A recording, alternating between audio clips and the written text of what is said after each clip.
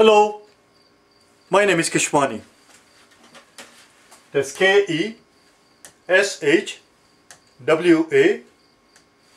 Keshwani. We are here because we want to learn how to solve algebra word problems. Today is the end of our long journey. Today we'll do the very last problem in the series, problem number 200. Problem as you can see is already on the blackboard. Let's take a look at it. I'm going to read the problem to you then I'm going to tell you what the correct answer is supposed to be. And at that point you will pause the video and you will solve the problem yourself. And if you can solve this problem all by yourself without any difficulty that means you have arrived. Okay let's take a look at it. It says how many hours how many hours will our robots take to assemble X cars, X number of cars, if W workers can assemble R cars in X hours. We further told that each robot works as fast as K workers. In other words, one robot is as productive as K workers. So one more time, how many hours will the R robots take to assemble X cars if W workers can assemble R cars in X hours? And here's the answer. The answer is x squared times w over r squared times k, or if you like, x over r whole squared times w over k. Pause the video, solve the problem yourself. If you can get this answer, then you have done it right, and then resume the video and then compare your work against the work that you and I will do together in a few seconds time. I'll give you five seconds for you to be able to pause and unpause the video. Okay, I'll get out of your way so that you can have the unobstructed view. Here we go.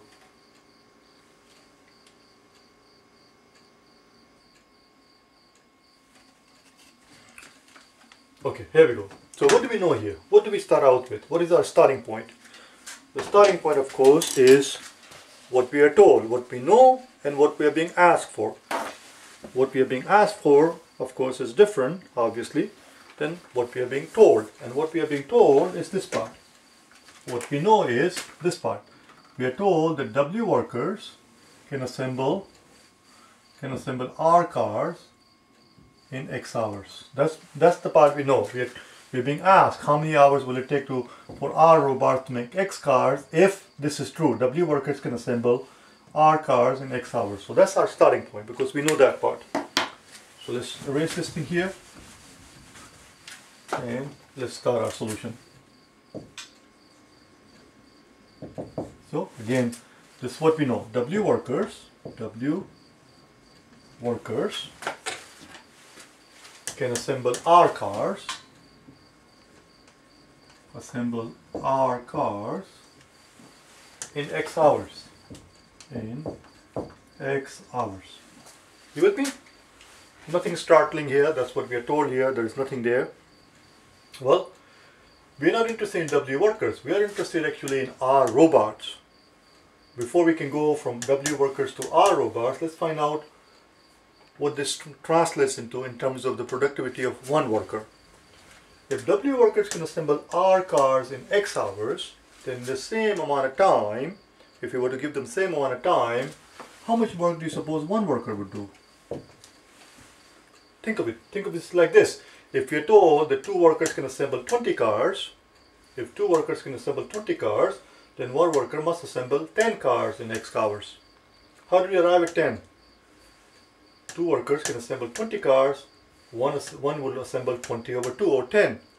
If you are told, for example, that three workers can assemble, if you are told that three workers can assemble uh, 12 cars in X hours, then one worker can assemble 12 over 3. Therefore, one worker can assemble R over W.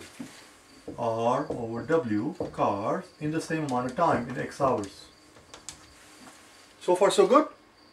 So far so good if our workers can assemble, if one worker can assemble this many cars, if one worker can assemble R over W cars in X hours, let's erase these numbers now, the numbers that we had plugged in before. Then the question is, how many can K workers? How much work can the K assemble? Why K workers?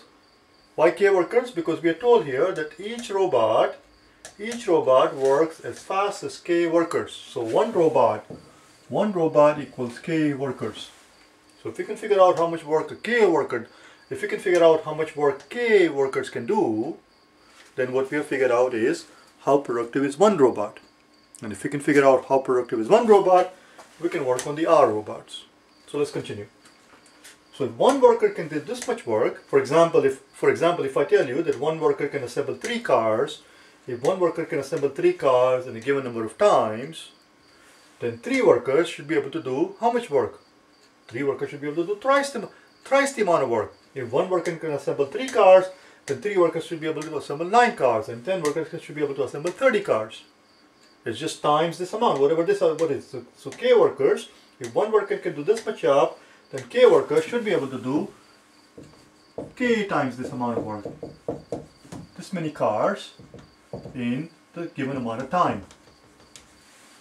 R over W times K because there are K workers. That's a capital K, there's a small k. No, don't make a big fuss about it. But to be consistent, I'm going to put it in small k because there we have a small k. So that's it. We have K workers. But we know that each robot works as fast as K robot, K workers. In other words, one robot equals K workers. Here's K workers right here.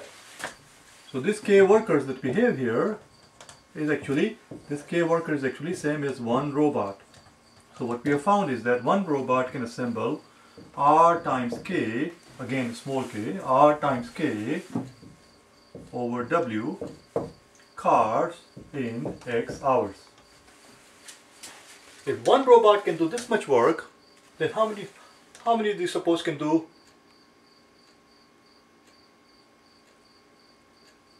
If one robot can do this much work, then our robot, our robot should be able to do R times as much work. This implies that our robot should be able to do R times this much work, which is R times K over W times R in X hours. We're running out of room, so I'm going to pick up from here. We're running out of room, so we're going to pick up from here on the top. We're almost there.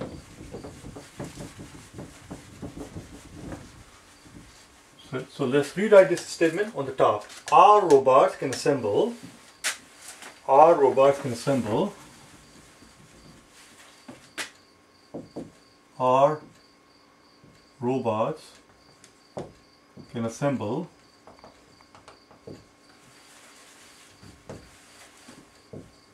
This many cars. R times k times r over w which is same as r squared times k over w cars in x hours.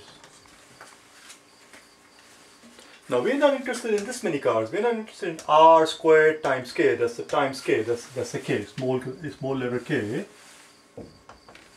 We're not interested in r squared times k over w cars. We are interested in x number of cars. The question was, how many hours will our robot take to assemble X cars? We have the R robot, that we took care of that part. We have the R robots working. But here they are assembling this many cars. We don't want them to assemble this many cars. We simply want them to assemble X number of cars. So that's the next transition we have to make. But before we can worry about X number of cars, let's ask ourselves, if our robot can assemble this many cars in X hours, then this same number of robots should be able to assemble one cars in how many hours? That's very simple. Look, it's very simple make up a number for this thing. This entire quantity, make up a number. Let's say 4. Okay, now this is how it reads. If, you, if a given number of robots, whatever the robot number happens to be, a given number of robots can assemble 4 cars in X hours, listen very carefully, if they can assemble 4 cars in X hours, then they should be able to assemble one car. This is 4 cars in X hours. We have we are pretending that we are pretending that this entire quantity r squared times k over w that that is the quantity. It's a given number. It's a, it's a number. Let's pretend it's four. So if our robot can assemble four cars in x hours, then they should be able to same number of robots should be able to assemble one car, which is one fourth the amount of cars, in in one fourth the amount of work, uh, one fourth the amount of time. Why one fourth the amount of time? Because they're they're doing one fourth the amount of work. If they can assemble one more time, if they if they they being our robots, that's that's what I'm what's what I mean by they. If they can assemble four cars in X hours, they should be able to assemble one car in one fourth the amount of time. Instead of four, if you had put in something else here, let's let's let's let's pretend it is uh, ten. If they can assemble 10 cars in this many number of hours, then they should be able to assemble one car in the 10th, 10th the amount of time. In other words, whatever this value is, if you want to build one car, one car is going to be x over this quantity right here. Except here we do not have 10, we do not have 4, we have this quantity r squared times k over w. That's going to go over here. So they, can, they should be able to assemble one car they should be able to assemble one car, not cars, in how many hours? In, in x, right here, x over this quantity, r squared times k over w, which can be written as x times w over r squared k. They should be able to assemble one car in this many hours, this many hours. We're almost done. That's, that's ours. But we don't want to just assemble one car. We don't want these robots, when I say these robots, I mean our robot. That's how many robots we have. We don't want them to, we don't want them to assemble one car. We want them to assemble X number of cars. Well, if one car takes this much amount of time, then two cars will take twice the amount of time for the same number of robots, and three cars will take three times the amount of time, and x car will take x, amount, x times the amount of time. So x cars, they should be able to assemble in w, right here, x times w over r squared k times x hours. Which of course is same as, I'm going to erase all of this thing. We're done with all of this thing, we don't need any more, any more of this. Which of course is same as is x times x. This x times x is going to be x squared times w over r squared times k hours. One more time. So what we find is that the R robots can assemble X cars in this many hours, which is exactly what we were looking for. The question was, how long will it take our robot to assemble X cars? The answer is our robot will assemble X cars in these many hours. X squared times W over R squared times K or if you like R X over R whole squared times W over K hours. Voila. That was the end of our series. That was the end of our journey. We are done with the algebra word problems. If you want to get better at these if you want to improve your ability to be able to solve algebra word problems, it's important that you go in proper sequence. There are 100 videos altogether and in those 100 videos we have solved a total of 200 problems. One more time, this was the problem number 200. This was the problem number 200 but it was the 100th video in the series. Just look for algebra word problems and you will find in the first video, of course, I think we managed to solve eight problems. As they get more and more difficult, we were able to do fewer and fewer problems in each video. But on average, the average worked out to be average worked out to be two problems per video because we solved 200 problems in 100 videos. I hope you got something out of it. Thank you. Bye now.